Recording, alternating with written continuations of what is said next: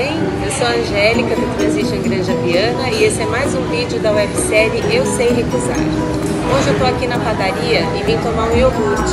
E eu pedi meu iogurte sem canudo plástico. Veja, você não precisa de canudo plástico, você pode recusar o canudo plástico na hora de tomar o seu iogurte. Você pode tomar diretamente no copo.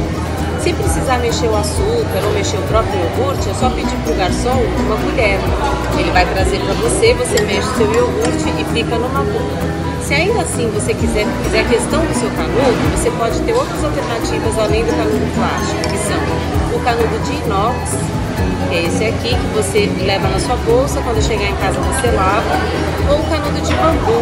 Essas duas opções aqui você acha na internet com facilidade para comprar e assim você pode recusar sempre o seu canudo plástico, ok? Fica aí a dica. Muito obrigada!